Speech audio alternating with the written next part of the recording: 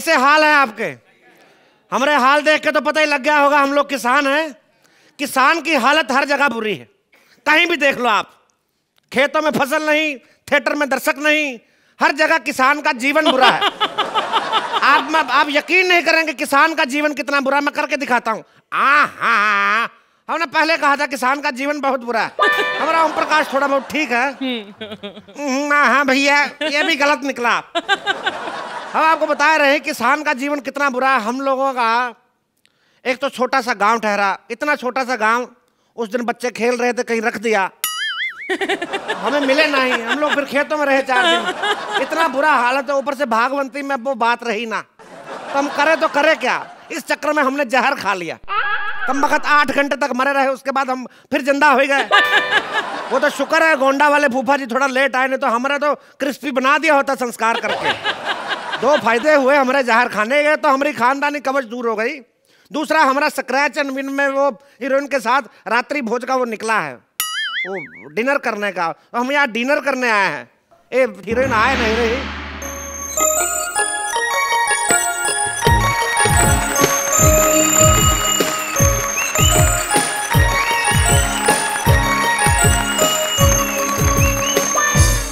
Madam, बंद कहाँ से होती हैं आप?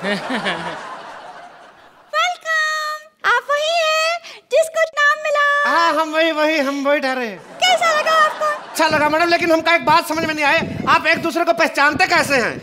सब तो एक जैसे लगते रहे आप।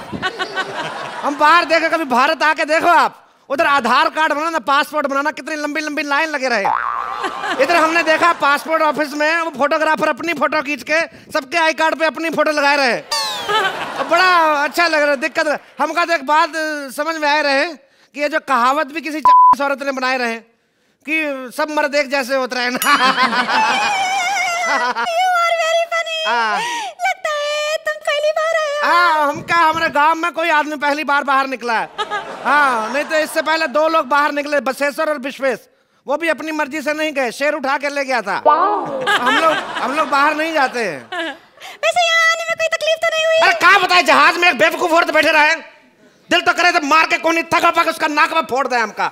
इतनी बेवकूफ़ औरत हमका बोल रहे जहाज़ में कि आपातकालीन स्थिति में जब जहाज़ पानी में उतर रहे हैं, तो जैकेट जो है रक्षा की कुर्सी के नीचे आप कौन समझाए? जहाज़ डूब रहा है तो किसको सूचती जैकेट पहनने की? फ़ैशन कौन सोचता है उस टाइम बेवकूफ़ लोग बैठ रहे। दिल तो करे उसका गर्दन पकड़ के घुटनों में देखे लड़का की तरह मारे उसको। हाँ पर एक बात बताइए मैडम एक बात आ रहे हैं हमारे दिमाग में।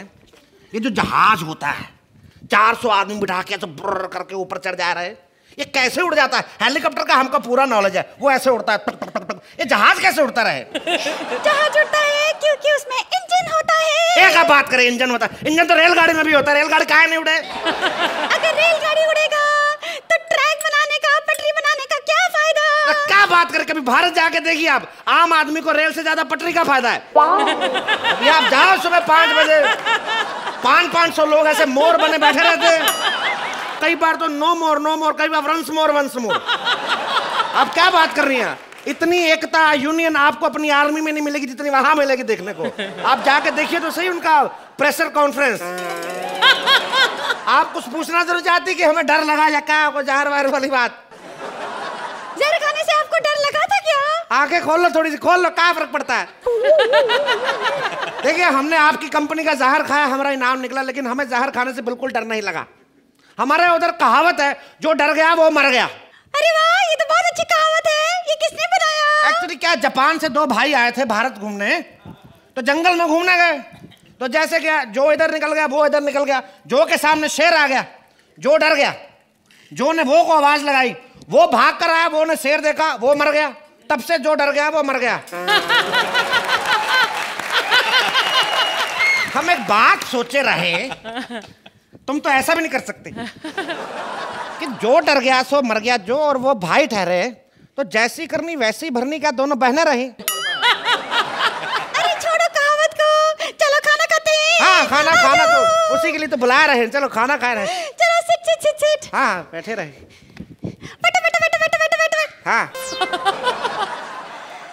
ये लो। हे कहा है इसे खाते हैं खाते हैं ऐसे कैसे खाते हैं? नहीं नहीं इसे इससे इससे खाते हैं इससे खाते हो तो कान की मैल का चम्मच से निकालते क्या बात कर रहे हो इसे इसे चॉपस्टिक कहते हैं इसे ऐसे करके खाते हैं। हे भगवान इतने सारे धागे खाती सुबह तो स्वेटर निकालते होंगे आप। क्या बात कर रहे हैं? ये क्या है? ये क्या बंदर जैसा कहा रखे है आपने ये बंदर ही है इसे भून के रखा हुआ है क्या बात करते हो? थोड़ा कम भुना रहे इतना तो नेचुरल लाल होता है। थोड़ा और भूनना चाहिए था तेल डाल के। ये ऐसे ही टेस्टी होता है। इसे खाओ ये हमारा फेवरेट डिश है। ये है चूहे का अचार। क्या बात कर रहे हैं? तो आम का अचार लग रहे हैं। ये आम का अचार ही है। चूहा लेकर आया था। सुबह पाँच बजे कैसे घंटे चुटकुले सरा रहे सांप लड़ा रहे तो का तो लड़ता भी ना है। एक बात बताओ। क्या? तुम हमको बहुत क्या बात कर रही शादी तो हम बना लेते हो का पर हमें एक बात का डर है। हमारे बच्चे कैसे होंगे? एक आँख खुली एक की बंद कैसे? ऐसे कैसे चलेगा? और कैसा लगेगा? इधर एक एक बच्चा एक हाथ से ऐसे खाएगा दूसरे हाथ से दाल चावल धपा कर धपा दूसर दूसर। और दुबड़ू घुसड़ू हो जाएगा। क्या बात कर रहे हैं?